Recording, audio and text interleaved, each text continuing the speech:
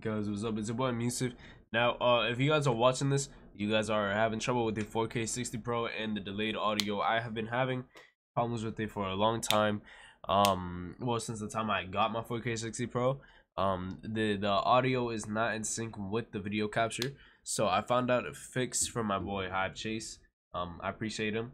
So this is if you guys also have AverMedia. I'm pretty sure uh, it works for AverMedia too. But um, so yeah, this is how you fix uh audio delay.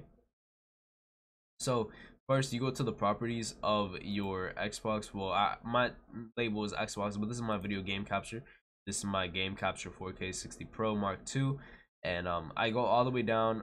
Uh, check use custom audio device and click on the um, the one you are using. If it says AverMedia and you're using AverMedia, use that one and um yep it, it's this is gonna stop all the delay from your game audio and all that um and if it starts delaying again you can just uncheck and check again and use the same audio again and it just uh, work again um so yeah thank you everybody uh, for watching this video. This is just a quick fix.